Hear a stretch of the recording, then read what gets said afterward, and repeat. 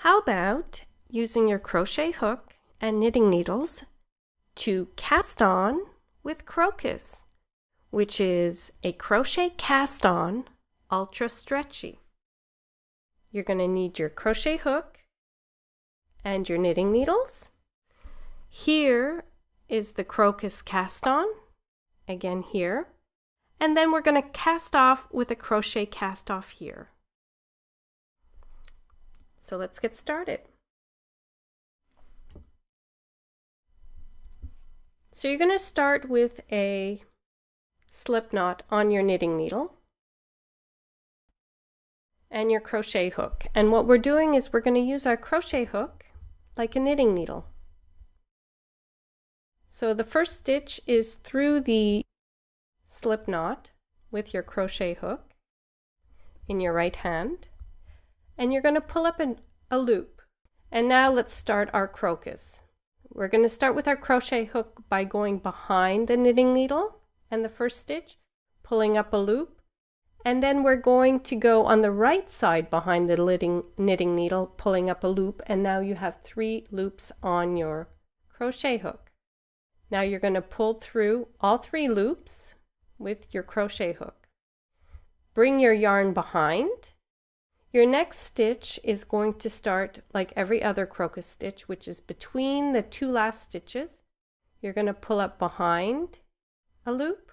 Then you're going to go on the right side behind your knitting needle and pull up a loop. And again, we're just going to pull through all three loops. Bring your yarn behind your knitting needle.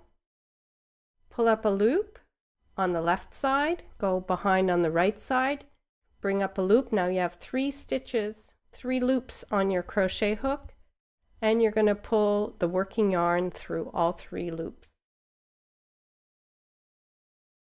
Again, so you're going to bring your yarn behind your knitting needle, take your crochet hook between the last two stitches, pull up a loop from behind the left side of your knitting needle, bring your crochet hook behind the right side of your knitting needle. Now you have three loops on your crochet hook. You're going to pull your working yarn through all three loops.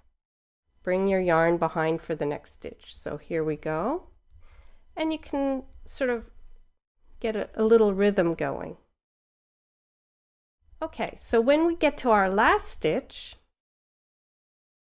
you're going to pull up your your yarn from behind and on the right side just like normal you have three stitches on your loop. And you're going to pull just just like before. The difference is now you've ended with this loop on your crochet hook. So the way I like to do it is I bring my yarn behind as if doing the next stitch. And what I'm going to do is place the last stitch that we created onto the crochet hook. I remove it so now I have two stitches on the crochet hook and I'm just going to pull this stitch through the last one and place it back onto our knitting needle. So our crocus cast on is complete. You can see the nice braid that it creates here. And it is ultra stretchy. And when I turn it, you can see the nice loops, the crochet loops that it creates on the bottom.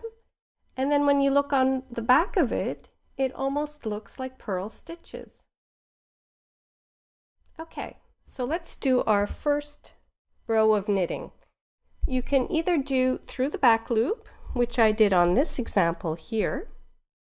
This is the knitting on the back loop. Or regular knit stitches, which creates a, a twisted stitch, which is on this example. Now this example, let me just show you the example, is done in the round. And here's the, the join. And when I turn it inside out, let's take a look. You can see how I joined. It is almost seamless. I've left the uh, working yarns that need to be buried for you to see where I ended. So I'm going to knit through the back loop a couple of rows before we do our crochet cast off.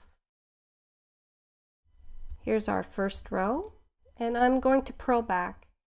And some of you know that I like to purl backwards, so I don't actually turn my work, but I just basically throw my yarn to purl back the row. And then we're going to cast off.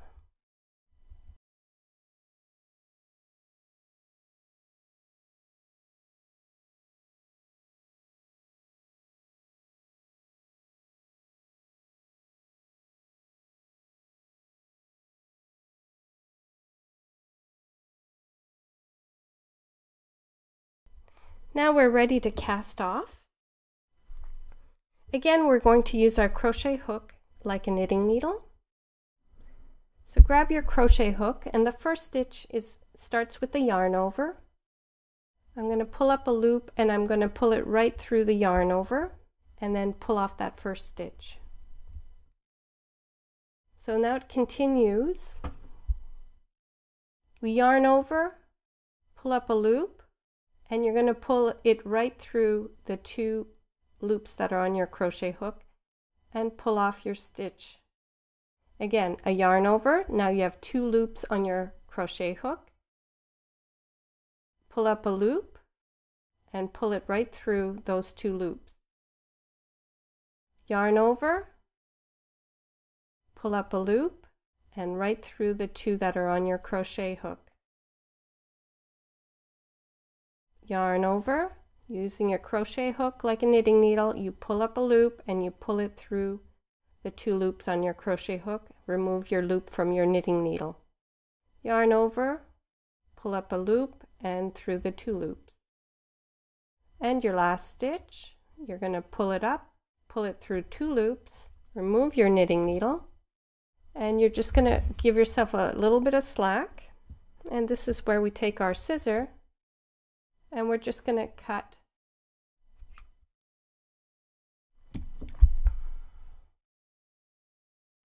And that that finishes off your your sample. So here let's take a look at